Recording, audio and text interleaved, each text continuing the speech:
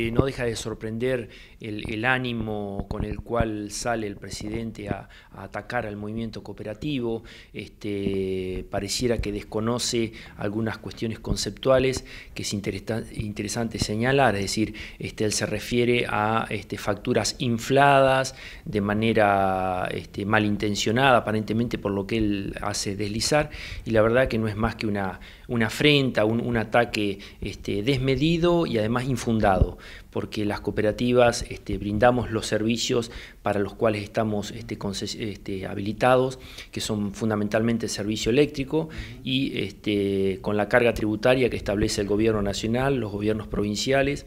y eh, con los servicios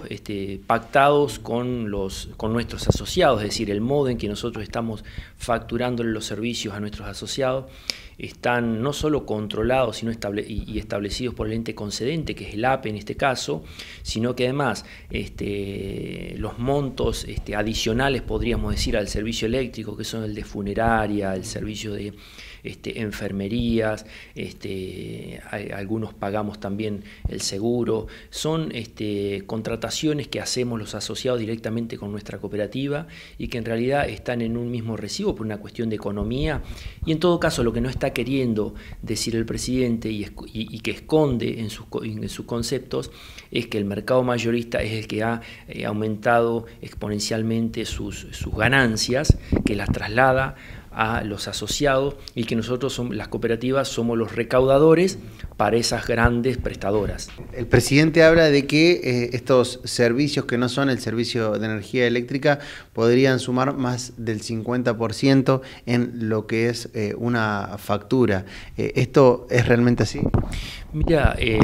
sabemos que hay cooperativas que son prestadoras de servicio de agua potable y cloacas. Finalmente, eh, su, su, origen es ir a, cubrir un bache que tiene el Estado. El, Estado no puede brindar un servicio, lo brinda la cooperativa. Hay una cuestión intencionada. Hace unos días, y trascendió públicamente, que estuvo este, el presidente de la cooperativa de la CALF, que está en un, enfrentamiento abierto con este, el gobierno nacional porque se niega a pagar los aumentos del mercado mayorista.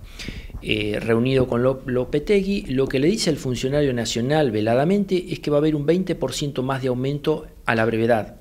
Porque lo que le está diciendo es que las tarifas eléctricas conservan un subsidio de un, 27, de un 25% y dice el Estado Nacional no está en condiciones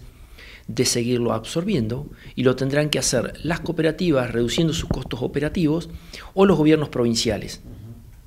Esto es lo que el presidente este, no quiere decir y entonces genera un conflicto en un lugar donde no lo hay. O sea que se viene un nuevo aumento de energía. Es evidente porque es, este, si, uno, si uno traza una, una, línea entre lo que le ha dicho Lopetegui a, este, un compañero de una cooperativa y lo que dice el presidente, lo que se está escondiendo es que no, eh, no, les da la cara para decir la verdad y es que se viene otro aumento del 25% que no lo pueden y no lo quieren explicar. ¿Van a hacer algo las cooperativas en su conjunto para expresar este repudio con las declaraciones del presidente? Mira, lo venimos haciendo de manera individual. Este, FEPANCO se ha expresado en, nombre también de, las cooperativas pampeanas. No descarto que haya una expresión este, más amplia. Este, la Federación de Cooperativas Eléctricas también se ha expresado hace un mes, alrededor de un mes, que salió públicamente en contra de, esta, esa resolución del INAES que, salió a fin de año pasado, diciéndole a las cooperativas cómo tenemos que facturar, cómo tenemos que vincularnos con nuestros asociados, lo cual es, algo desmedido y además no es lo que corresponde para, para INAES.